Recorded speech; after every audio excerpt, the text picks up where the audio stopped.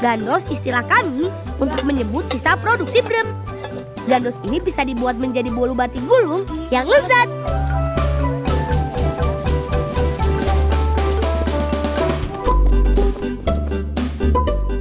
Nah, kalau yang sedang kakakku kerjakan ini adalah membuat adonan bolu. Dibuat dari bahan telur, gula pasir, tepung yang diaduk sampai merata.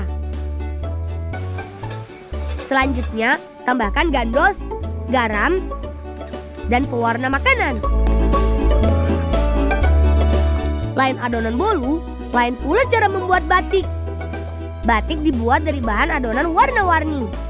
Meski dari bahan yang berbeda, tapi cara membuat pola batik hampir sama dengan melukis batik pada kain.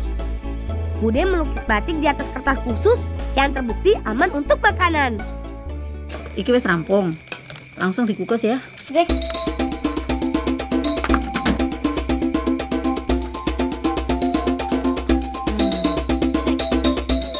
Setelah 3 menit dikukus, ini dia hasilnya.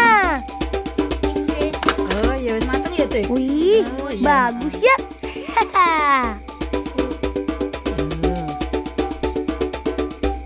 Sekarang saatnya digabungkan.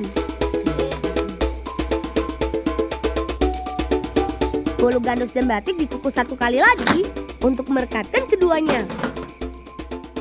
Kurang dari 10 menit, bolu batik gandos bisa diangkat. mateng nih mbak. Tara!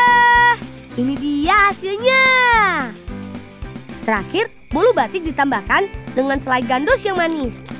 Lalu digulung perlahan.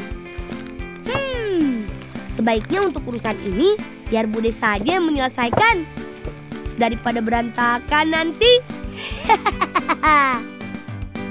ini dia bolu batik gandos ala si bolang Wonogiri.